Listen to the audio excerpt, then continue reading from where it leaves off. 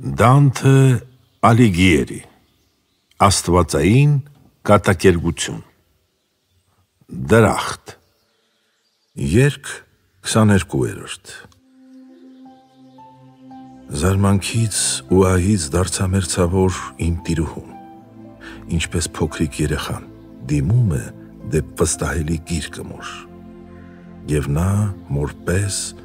որի ձայնից փաղաքուշ սիրտ է առնում իր զավակը տագնապած, ինձ ուղերձեց այս խոսքերը սրտաբուժ. Չգիտես, որ երկնքում ես հիմա դու, չգիտես, որ այստեղ սուրբ է ամեն ինչ և ամեն ինչ բխում սիրուց կենսատու։ Արդ դատիր, թե ինչքան հուզեր պիտի քեզ իմ շպիտն ու հոգիների երգը սուրբ, եթե մի քիչ տպավորեց քեզ այդպես թե լսեիր ճիչի բառերը նրանց, կիմանայիր այն դատաստանը արդար, որ անպայման դու կտեսնես չմեռած։ Երկնիսուրը ոչ շատ արագ է կտրում, ոչ շատ դանդաղ, բացի նրա կարծիքից, ով անձկությամբ կամ վախով է սպասում։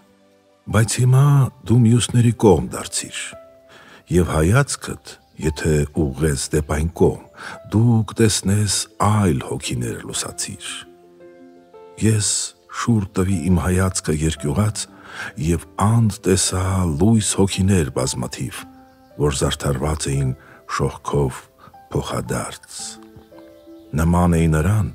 ով իր տենչը սուր զսպում է և չի հանդգնում հարցեր տալ, վախենալով, որ նեղություն կտա և ամենից շողշողունը ու մեծ ըղին այն թանկագին գոհարներից մոտ եկավ, որպեսի շուտ գոհացում տա իմ իղձին, ապա ասաց. «Եթե որ դու տեսնեիր այն սերը վառ, որ այրում է մեզ այստեղ, քո մտածումն անշուշտ հայտնի կանեիր, բայց որպեսի դու չուշանաս հասնելու նպատակիդ վսեմ, կտամ պատասխան քո հարցին, որ վարանում ես հայտնելու։ Կասինոյի լեռան բագինն երբեմնի հաճախում էր ժողովուրդը մոլորյալ և քիչ հակված դեպ հավատը կենթանի։ Ես նա եմ, որ առաջինը տարա անձ նրա անունն, ով նոր հավատ էր բերել, բարձրացնելու մեզ մեր կյանքի ցնավանդ։ Վերուստ վրաս այնքան շնոր էր իջել, որ շատերին դարձի բերի ամբարիշտ պաշտամունքից, որով աշխարհ էր տարվել։ Այս մյուսները հայեցողներ են նման, բոցավառված աստվածային այն սիրով, որ ծնում է հույզեր, գործեր սրբազան։ Այստեղ Մակկարն ու Ռամալդն են բարեցին, այստեղ են ողջ իմ եղբայրները, որոնք հոգով, մարմնով վանքերի մեջ փակվեցին, և ես, սերը, որ դու բերում ես ի հայտ քո խոսքերով, և երևույթը բարի, որ տեսնում եմ շողլյունների մեջ ձեր այդ, բաց արին իմ վստահությանն հանդեպ ձեզ այնպես, ինչպես ճառագայթներն արևի բաց են անում վարդի թերթերը պես։ Սակայն Հայր իմ, ստույգ ասա, ինձ խնդրեմ, ես կարո՞ղ եմ այնքան շնորհ ստանալ, որ իսկական քո պատկերով քեզ տեսնեմ։ Եվ նա. Եղբայր, կկատարվի իղձը քո ամենաբարձր երկրագնդում, այնտեղ են բավարարվում բոլոր իղձերը արկո։ Այնտեղ լրման ու ավարտման է հասնում ամեն բաղձանք, այնտեղ ամեն մի մասնիկ հավետ, անշարժ ու անփոփոխ է մնում։ Երկրագունդն այդ ոչ տեղ ունի, ոչ շարժում, մեր սանդուղքը բարձրանում է մինչև անդ, դրա համար նրա ծայրը չես տեսնում։ Այս սանդուղքը մինչև գագաթն հեռավոր տեսավ Հակոբ Նահապետը, երբ նրան երևաց այն հրեշտակներով բեռնավոր։ Հիմա ոչ ոք չի բարձրանում այս սանդուղքով, իսկ իմ ուխտի վանականները երկրում զբաղված են միայն թղթեր տողելով։ Այն վանքերն, ուր ծաղկում էին սուրբ բարքեր, արդ որջեր են, սքեմներն էլ վանական, լոկ դարձել են վատ ալյուրով լի պարկեր։ Վաշխը այնքան ատելի չէ երկնքին, որքան բաշխը հասույթների վանական, որ խեղում է մոնազների հենց հոգին ինչ որ ունի եկեղեցին իբր ավանդ, պատկանում է աղքատներին աղցավոր, ոչ կղերին կամ լրբերին մանավանդ։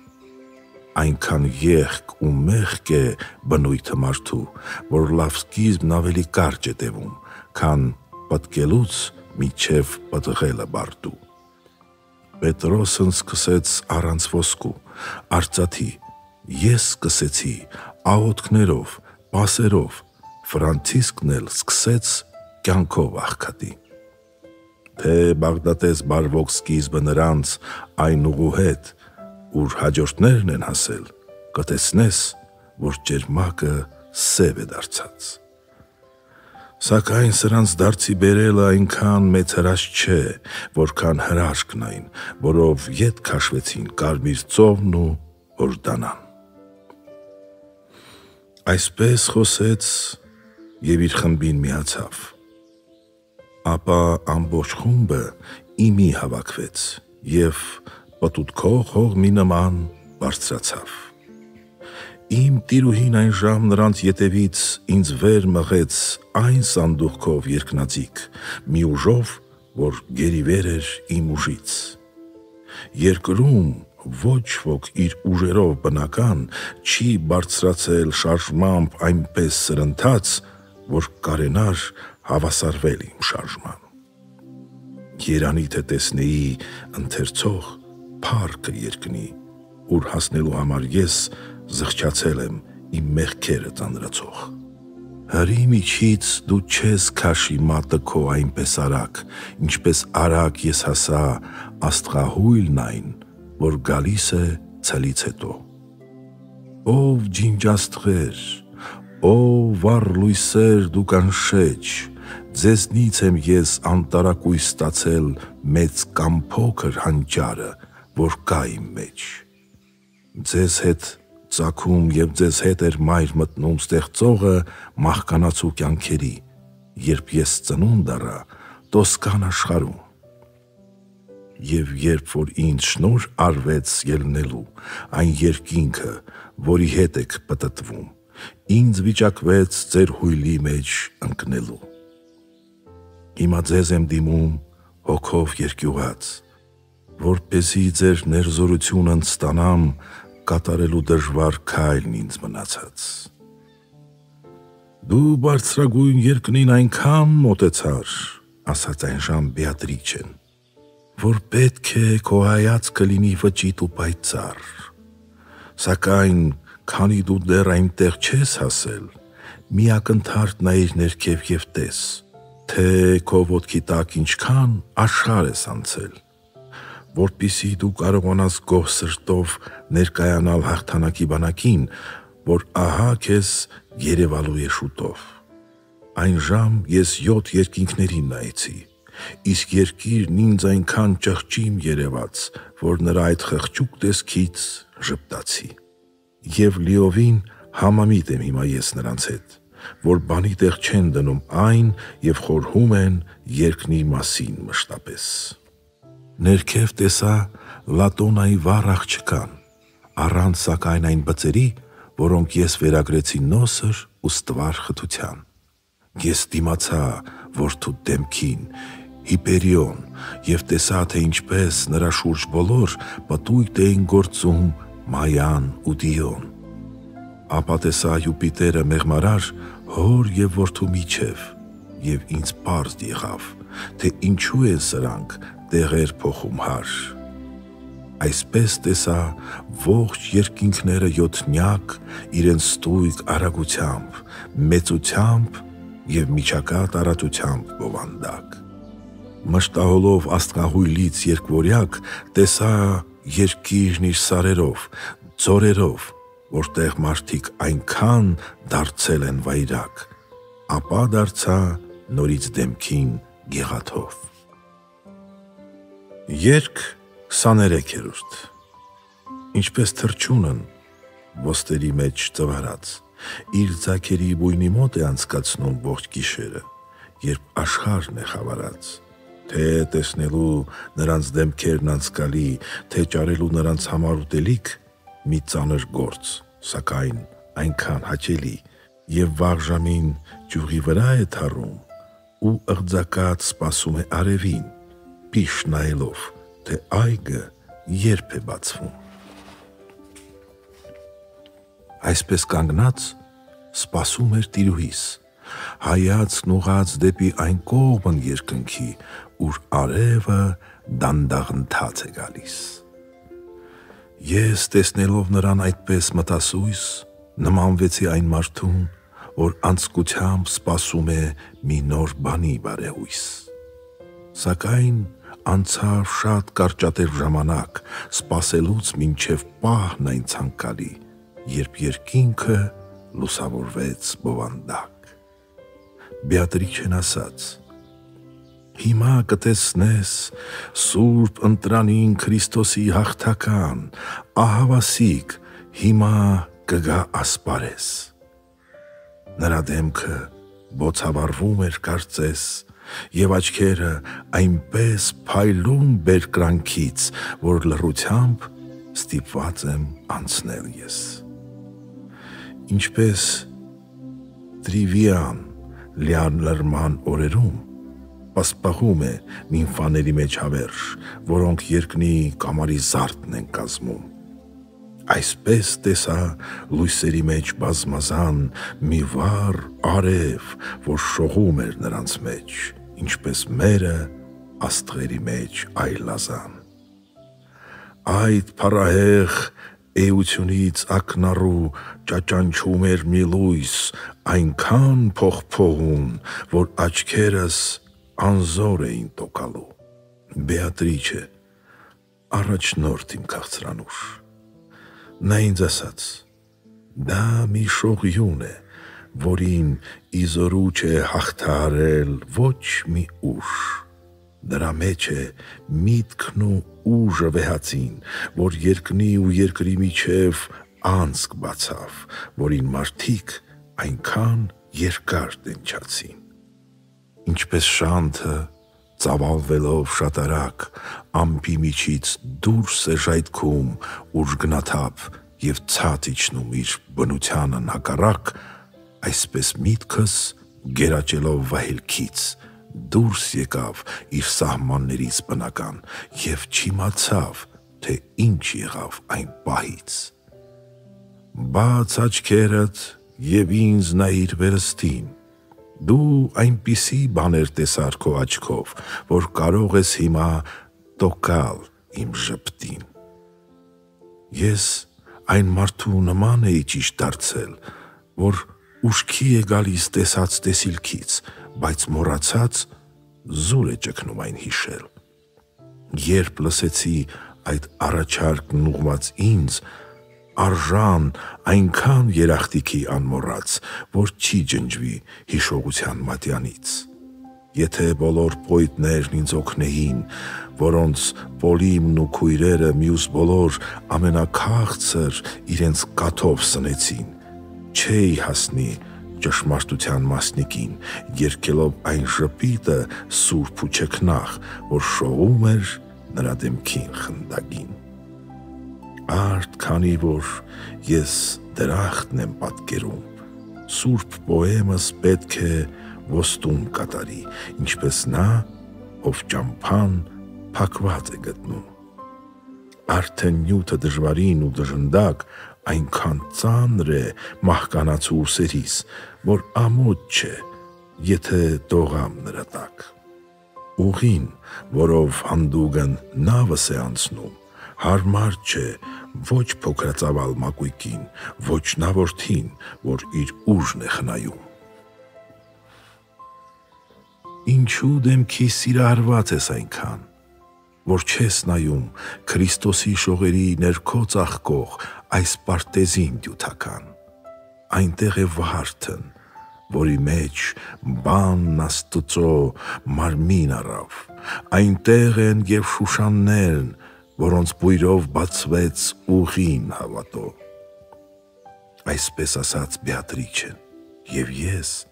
որ պատրաստ էի նրա կոչին անսալու, պիշ նայեցի պարտեզին լուսավոր ինչպես երկրում մերթ տեսել եմ աչքերով ծաղկուն մի մարկ, ամբողջովին ողողված, ամպը ճեղքած արևային շողերով, այսպես տեսա այնտեղ բազում հոգիներ, լուսավորված վերուստիչնող շողերով, որոնց աղբյուրն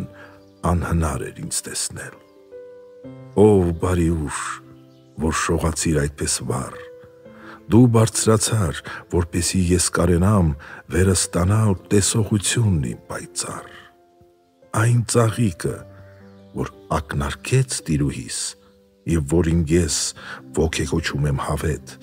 իր վառ լույսով հապշտակել էր հոգիս։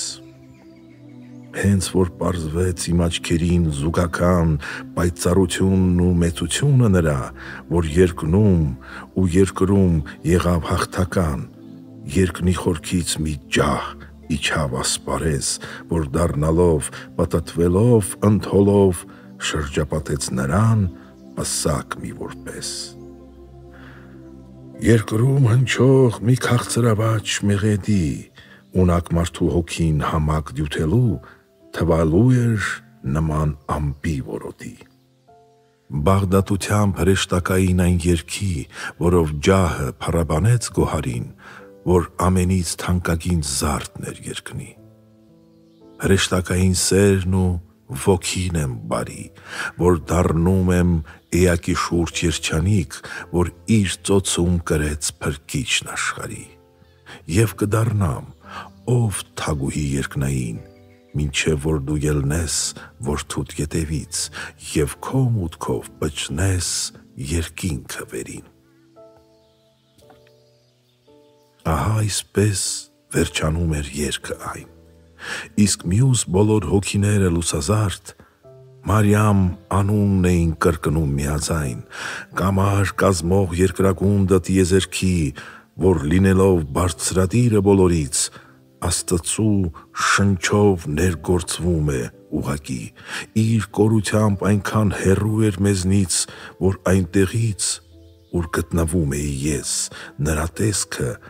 տեսանելի չէր դեռ ինձ։ Բայց նայվածքս բավական ուժ չունեցավ հետևելու լուսապսակ թագուհուն, որ ետևից որդու վերև բարձրացավ։ Մանուկն ինչպես երբ սնուցվել է կաթով իր թևերը դեպի մայրն է երկարում, թելադրված խանդաղակատ ջերմ սիրով, այնպես այն լույս հոգիները միառմի վեր բարձրացան, հայտնելով այն սերը սուրբ, որ սնուցում էին հանդեպ Մարիամի։ Ապա նրանք անշարժ կեցան իմ դիմաց, օրհներկելով այնպես երկնից թագուհի, որի հմայքն ես տակավին չեմ մորցած որքան ունեն հարստություն լիառատ հոգիներն այն, որոնք եղան աշխարում, սերմնացաններ գործերի լավ, անարատ, այստեղ ապրում եւ այստեղ են վայելում այն գանձերը, որոնք գնով զրկանքի ձերկ բերվեցին բաբելոնյան աքսորում։ Աս տոնում է իր հաղթանակը հավետ, աստուծո և մայրամի վեհ որդյակի հովանուտակ և հին ու նոր սրպոց հետ, նա ում ձերքն են բանալիներն այդ պարքի։ Երկ 24 երորդ Ով կոչեցյալք օրնյալ գարի ինտրիքի, ուր այնպիսի սնունդ եք դուք ստանում, որ ձեր քաղցը հագեցնում եք լիուլի։ Եթե կանխավ, սա աստուծո շնորհիվ ճաշակում է փշրանքը ձեր սեղանի, դեռ չավարտված կյանքի ընթացքը լրիվ։ Հաշվի առեք նրա պապակն անհատնում եւ գոհացրեք։ Դուք խմում եք այն ակից, որից նրա մտածումներն են բխում։ Այսպես խոսեց Բեատրիչեն ոգևոր։ Եվ հոգիներն սկսեցին պատտվել, ոցկլ տալով աստղերի պես գիսավոր։ Եվ ինչպես որ անիվներն են պատտվում ժամացույցի, բայց պատտվում են այնպես, որ մեկն անշարժ, մյուսը շարժուն է թվում Այսպես իրենց ոչ միակեր պտույտով շարժվում էին պարախմբերն այն հոգվոց առավել կամ նվազ արագ ընթացքով։ Իսկ մի խմբից առավել վե ջերմերանդ դուրս եկավ մի երանելի այնքան վառ, որ նրա պես պայծառություն չկար անդ։ Երեք անգամ նա տիրուհուս շուրջ դարձավ, երկելով մի այնպիսի երկ երկնային, որ չեմ կարող պատկերացնել ես բնավ։ Ոստի պետք է դա զանց առնեմ ես այստեղ, քանզի տալու համար պատկերը դրա խոսքը պետք է լինի անչափ գունագեղ։ Ով սուրքույրիմ, դու միայն քո խանդակած սիրո ուժով ինձ հանում ես այն խմբից, որի հետ ես պատտվում եմ անընդհատ կանգ առնելով լուսահոգին այն օրնյալ, արտաբերեց այս խոսքերը ոգեշունչ, դիմելով դեպ իմ տիրուհին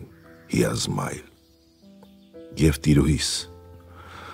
ով դու մեծ այր փարալից, որ իմ տերը բանալիները հանձնեց, ցած բերելու այս բարձունքի ցնցալից, քննիր սրան հարցերում ծանր ու թեթև, էության շուրջ այն հավատի, որով դու ծովի վրա քայլում էիր անդեդև։ Որ նա ունի ճշմարիտ սեր, հույս, հավատ, գաղտնիք չէ քեզ, զիդա տեսնում ես այնտեղ, ուր ամեն ինչ երևում է բացահայտ բայց քանի որ արխայությունն այս երկնի ձեռք է բերվում լոկ հավատով ճշմարիտ, թող նա խոսի եւ նրա փառքն հրճակի։ Աշակերտը, ինչպես լրին ու հալուկ, սպասում է իր ուսուցչի հարցերին փաստարկելու համար եւ ոչ վճռելու։ Այսպես եւ ես զինված ամեն փաստարկով պատրաստ էի պատասխաններն իմ տալու այդ օրինակ մի քննիչի փառագով։ Լավ քրիստոնյա, ասա, խոսիր բացահայտ, հավատն ինչ է։ Ես բարձրացրի գլուխն իմ դեպի լույսն այն, ուրկից ձայնն էր գալիս այդ։ Ապա դարձա իմ տիրուհուն ուղեկից։ Նա նշանով ինձ հասկացրեց, որ հիմա հարկ է զեղեմ հյութս ներքին ակունքից եթե պետք է իմ հավատը ճշմարիտ խոստովանեմ նախամարտկիտ բեհագույն, ապա ես քեզ կարտահայտվեմ աներկմիտ, ասացի ես։ Հայրիմ, ինչպես ճիշտ գրեց քո եղբայրը, որ քեզ հետ միասին հռոմ նուղիղ ճանապարհի մեջ դրեց, հավատն հիմքն է ամեն բանի հուսացված եւ փաստարկը չերևացող բաների Սա է նրա էությունը անկասկած։ Եվ նա ասաց. Դու շիտակ ես մտածում։ Եթե լավ ես հասկանում, թե ինչու նա հավատը հիմք ու փաստարկ է համարում։ Ես ասացի. Խորուրդները իրերի, որ ինձ այստեղ երկնքում են երևում, այնքան մութ են մարդկանց համար աշխարի, որ նրանց գոյն հավատի մեջ է միայն, որի վրա հիմնված է հույսը վե Դրանից էլ հիմքի բնույթն ունի այն։ Եվ մենք պետք է դատենք ըստ այդ հավատքի գոյի մասին խորհուրդների անմատույց։ Դրանից էլ բնույթ ունի փաստարկի։ Եվ նա ասաց. Եթե ամեն ինչ այսպես པարզ ու հստակ հասկանային աշխարհում, չեր ունենա սոփեստությունն ասպարես։ Այսպես ոգեց հուրը սիրո հավաստի, հետո հարեց, բավական լավ խոսեցիր էության եւ արժեքի շուրջ հավատի։ Բայց ասա, թե դու հոգում այն ունես, ես ասացի, այո, ունեմ լիուլի, եւ այդ մասին ոչ մի կասկած չունեմ ես։ Եվ նա ասաց խորքից լույսի իր պայծառ։ Որտեղից քեզ այդ գոհարը թանկագին, որի հիմքն է ամեն գործի բարերար։ Այն ժամ նրան ես ասացի. Սուրբ հոգու շունչը առատ, որ սփռված է բոլոր էջերի մեջ մատյանների սուրբ երկու, մի փաստարկ է, որ այնպիսի մեծ ուժով հաստատում է հարկն ու հարգը հավատի, որ փաստերն այլ զուր են թվում նրանքով։ Եվ նա ասաց. Սուրբ մատյանները երկու, որ այդպիսի հետևության քեզ բերին, ինչու Աստծուց ներշնչված ես գտնում դու։ Ես ասացի. ապացույց այդ բանի հրաշքներն են, որոնք վեր են բնության միջոցներից եւ ուժերից կենթանի։ Պատասխանեց. Ով է դրանք հավաստում։ Հենց այդ երկու մատյանները սրբազան, որոնք միայն դրանց մասին են փաստում։ Եվ ես Եթե աշխարհն առանց հրաշքի քրիստոնեացավ, դա այնպիսի հրաշք է, որ այլ փաստերն երևում են փանակի զի դու աղքատ ու ծոմ մտար ասպարեզ, բարի սերմը սերմանելու այնտեղ, ուր նախ այգի էր, իսկ արդ դարձել է երես։ Երբ լռեցի, հոգիների սուրբ դասում, սկեզ, աստված գովաբանեմ, երկն հնչեց մի ձայնով, որ միայն երկնում են լսում եւ հոգեվոր այն իշխանը, որ կարքին քննել էր ինձ հարցերի շուրջ հավատի ու ինձ հասցրել եզրափակիչ կետերին, շարունակեց. Սուրբ շնորհը լուսատու մինչև այստեղ լուսավորեց միտքը քո, որ կարենաս պարտ ու պատշաճ դատել դու։ Եվ ես գոհ եմ քո պատասխան խոսքերից։ Սակայն ի՞նչն է քո հավատի առարկան, եւ քաղել ես դու ինչպիսի աղբյուրից։ Հայր Սուրբ, դու տեսանող ես աննման, եւ որ երկրում հավատացիր, դու այնպես, որ ընկերիցդ առաջ իջար գերեզման։ Ասացի ես. Արդ ուզում ես, որ հայտնեմ, թե ինչն է բուն առարկան իմ հավատի եւ որտեղից այդ հավատը ես ունեմ պատասխանեմ։ Ես հավատում եմ Աստծուն միակ, հավերժ, որ երկինքներն է շարժում եւ սիրով ու բարությամբ է առլեցում։ Այս հավատի սապացույցները չեն լոկ բնական, բնազանցական, այլ նաև ճշմարտությունն այն, որ հայտնել են իրոք։ Վեհ Մովսեսը, Մարկարեքն ու Սաղմոսներ ավետարանն ու հենց դուք, որ գրեցիք, երբ Սուրբ Հոգին լուսավորեց միտքը ձեր։ Հավատում եմ երեք հավերժ անձերի, որոնք մեկ ու երյակ էակ են կազմում, որին է եւ են կծվում են անթերի։ Աստվածության այս խորուրդը խորիմաստ ավետարանն իր մասերով այլևայլ դրոշմել է իմ մտքի մեջ բարեբաստ Սա է հիմքը։ Սա է կայծը այն անշեջ, որ աճելով դառնում է բոց կենթանի եւ զերտ աստղը երկնում շողում է իմ մեջ։ Ինչպես Տերը, երբ առնում է մի լավ լուր, ցնծությունից գրկում է իր ծառային, հենց որ արդեն նա մնում է մունջ ու լուր։ Այսպես, հենց որ ես լրություն պահեցի, երեք անգամ շուրջս դարձավ